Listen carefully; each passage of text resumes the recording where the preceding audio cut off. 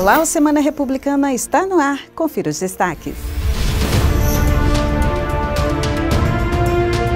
Republicanos promoveu na terça-feira, dia 3, o segundo encontro do Fórum de Discussão da Reforma Política. A reunião contou com a participação de especialistas, lideranças da Executiva Nacional e dos deputados federais Silvio Costa Filho, Iocésio Silva, de Pernambuco, e Júlio César Ribeiro, do Distrito Federal. O grupo de trabalho tem a missão de preparar uma proposta consistente para a reforma política, antecipando as discussões no partido e evitando os problemas de um projeto debatido muito próximo das eleições. Hoje foi a nossa segunda discussão.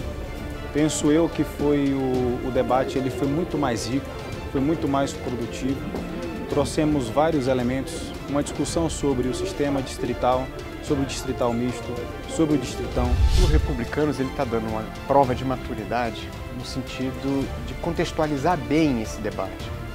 Em vários momentos da história do Brasil, a questão da reforma política veio como uma solução para crises. E dessa vez, sem que nenhuma crise é, esteja acontecendo, o republicano ele decidiu encampar essa discussão a partir de onde ela deve começar. Assim, qual é o problema do Brasil? Qual é o problema do sistema político?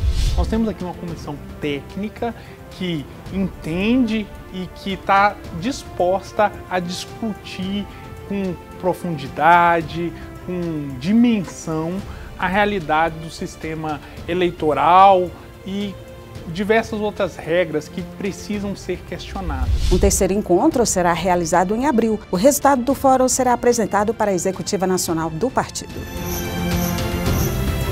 A comissão especial que analisa o projeto do Marco Legal das Startups, presidida pelo deputado federal João Roma, da Bahia, realizou a primeira audiência pública. O debate foi realizado na quarta-feira, dia 4, e tratou sobre medidas para facilitar investimentos e medidas regulatórias para incentivar e dar segurança jurídica a investidores no setor.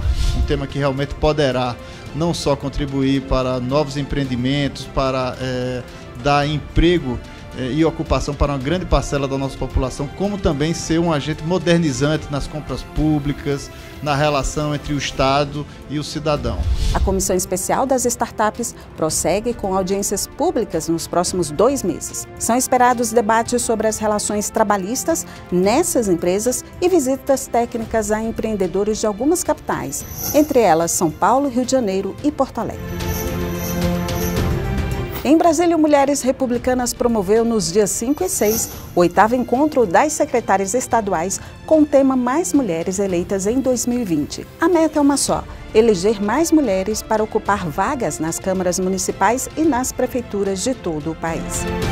Na quinta-feira, por iniciativa da deputada federal Rosângela Gomes, secretária nacional do Mulheres Republicanas, foi realizada uma sessão solene na Câmara dos Deputados em homenagem ao Dia da Conquista do Voto Feminino. Rosângela Gomes destacou que é preciso garantir mais espaços para as mulheres na política e frisou que o Republicanos é um partido que tem trabalhado incansavelmente para atingir essa meta. Saí da comunidade do Cobrex, Nova Iguaçu, Rio de Janeiro e foi valorizada pelo Republicanos, pelo partido do presidente Marcos que me chamou e falou: quero você em Brasília, defendendo política para as mulheres no Brasil inteiro.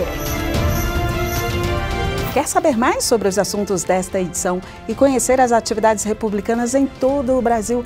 Acesse o nosso portal republicanos10.org.br. Você encontra tudo lá. Siga também o Republicanos nas redes sociais e fique sempre bem informado sobre o Partido 10 do Brasil. Por hoje é só. Até a próxima!